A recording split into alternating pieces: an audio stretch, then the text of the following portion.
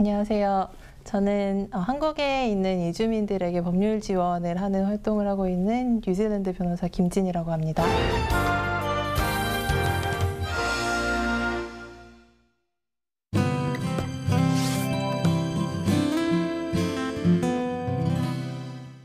지금 우리나라에는 200만 명 이상의 이주민들이 체류하고 있 어요. 무료로 상담 진행하고 필요한 경우에는 그래서 다른 데서 변호사를 구할 수 없거나 다른 방면으로 법률 지원을 받지 못하는 분들에게는 무료로 소송 지원도 하고 있고요. 법적으로 제도적으로 바뀌어야 되는 그런 부분들이 많이 있어서 관련해서 여러 가지 제도 개선 활동이나 뭐 법률 개선 활동도 같이 하고 있습니다.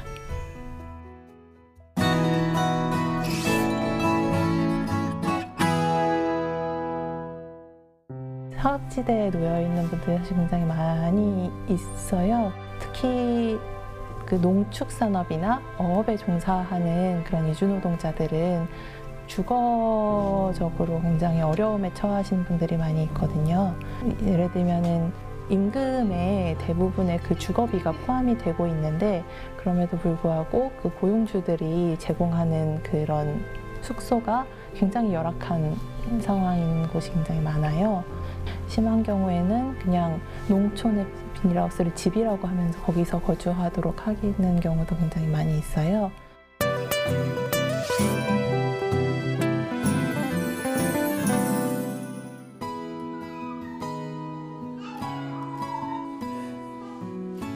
우리나라에서 소위 말하는 불법 체류인 상황이니까 사실 어디에도 지금 어느 통계에도 잡히지 않은 아이들이라고 할 수가 있어요. 뭐 학교에 갈 때에도 등록 번호가 없기 때문에 여러 가지 난관에 부딪히기도 하고요.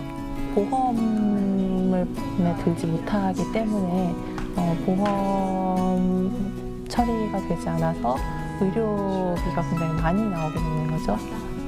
오히려 이런 이주아동들을 배척을 하고 어, 이런 이주아동들이 올바르게 자랄 수 있는 그런 사, 그런 여건이 만들어지지 않는다면 오히려 이런 아이들이 뭐 탈선을 한다든지 좀 안 좋은 쪽으로 가게 돼서 한국 사회에는 좀 더 안 좋은 영향을 끼칠 수도 있을 것 같고요.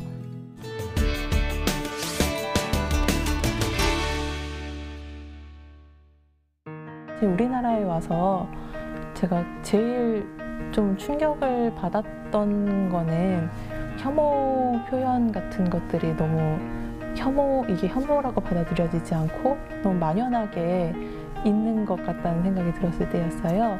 사실 제도에서 느끼는 벽은 굉장히 많지만 그런 제도를 바꾸기 위해서는 일반 대중들의 목소리가 굉장히 많이 필요하고 지지가 많이 필요한데 오히려 벽으로 다가오면서 반대하는 세력들이 너무 많이 있어서 그런 부분에서 가장 큰 어려움을 느끼는 것 같아요.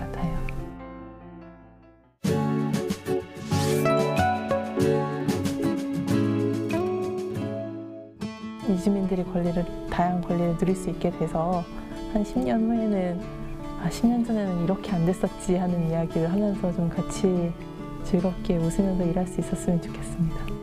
네, 우리 사회에 다양한 사람들이 다 같이 살고 있다는 것을 같이 한번 생각을 하고 이주민들도 다 똑같은 사람이고 어, 우리랑 같은 권리가 필요한 사람이라는 것을 같이 인식을 할 수 있었으면 좋겠습니다.